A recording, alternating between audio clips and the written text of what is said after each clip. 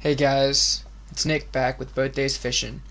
Um, and with this video, I'm going to actually introduce you to a new hobby that I just started getting into the other day, um, which is painting my own lures. So before I get into actually painting a lure in front of you guys, I just kind of want to give you a little bit of a background as to, you know, why I started getting into this and really what were the reasons why I started doing this. So it's been, you know, starting to come around here in the Virginia, D.C. area with the water temperatures.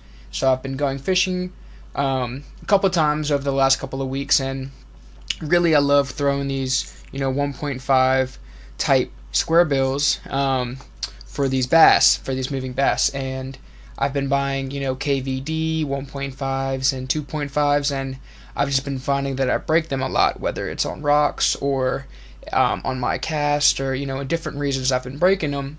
And you know I've been trying to figure out well this is kind of a shame that I'll, I'll buy a new lure and it'll break the first time. And I've always been kind of crafty so I figured I'd you know try my hand at you know actually painting some of my own. So I did some research. I picked myself up a starting kit um, which basically all inclusive came out to just about a hundred dollars. So fairly uh, uh, low entry um, to get kind of get started.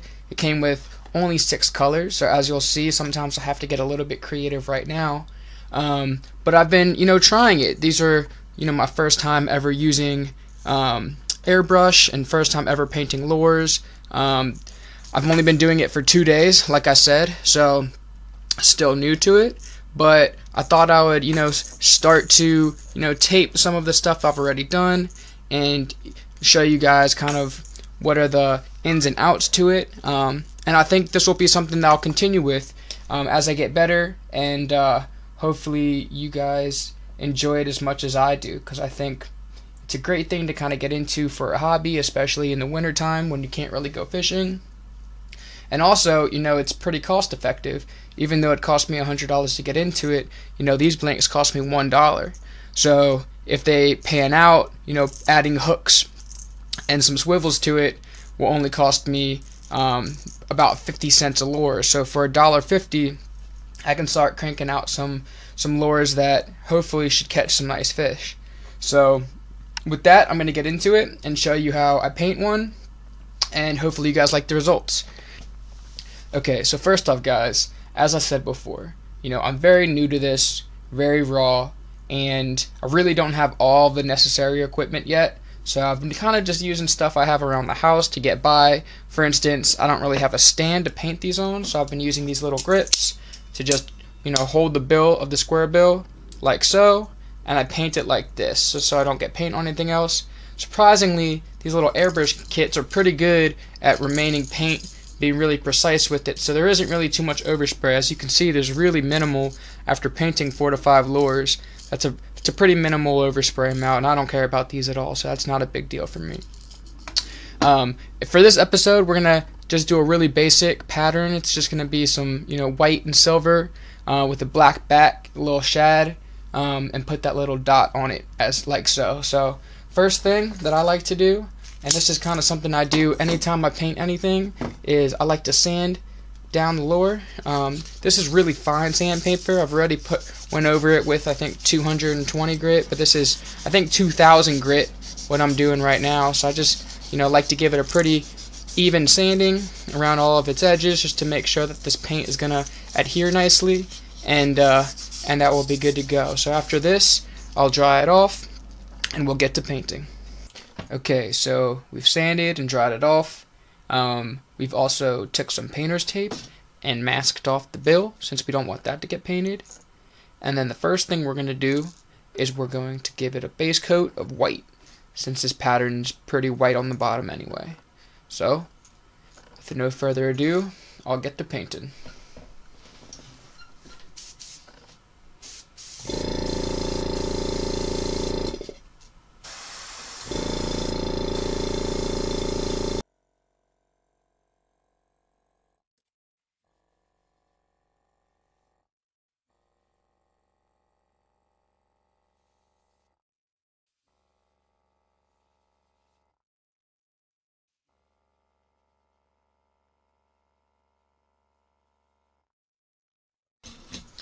So the painting's really just a finesse game between how hard you want to pull the trigger and how much air you want to let out. Um, that's definitely the biggest learning curve for me. Um, I'm, I'm definitely already getting better, so um, I think the more time on the gun, I think I'll get better. Um, between coats, I'm, I'm going to put a couple coats of base layer here on this. Um, you can flash dry with just a, a simple hair dryer, um, and this acrylic paint will dry really fast. Make sure you dry the paint between each coat. It's really important.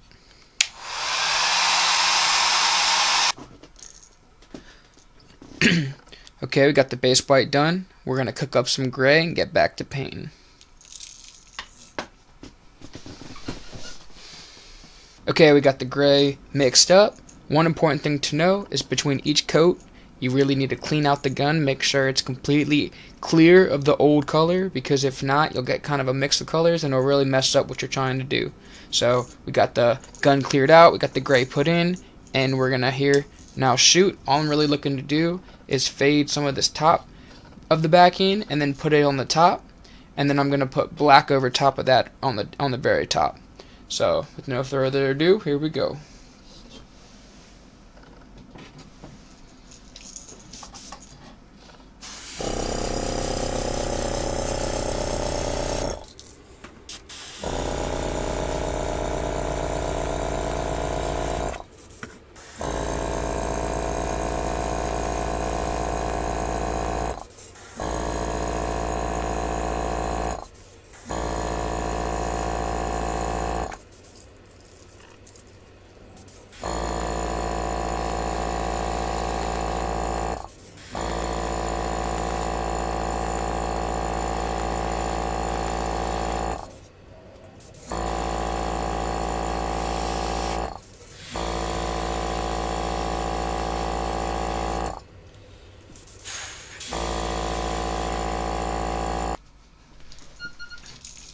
Okay, got the gray put on, and now it's time for the black.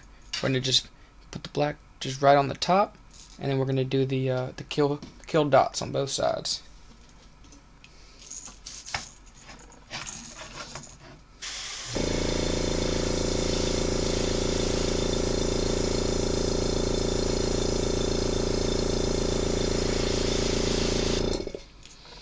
I also like putting the black around the eyes and on the nose I just think it look, gives a pretty mean um, appearance from the front.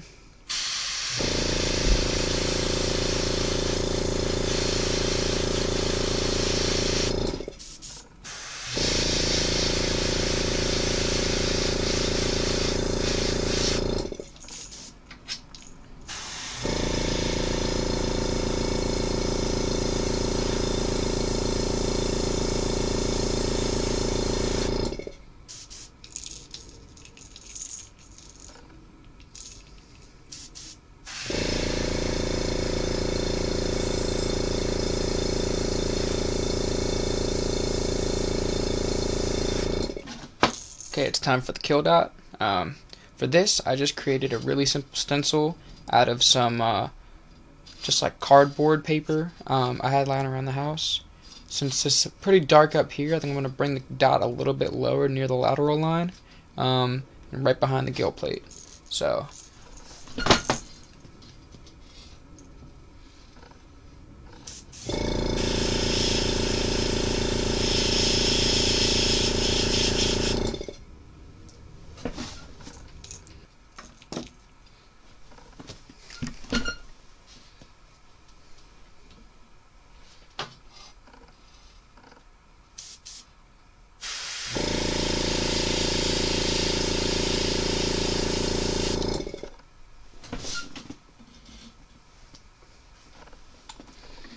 So here we are with the finished product.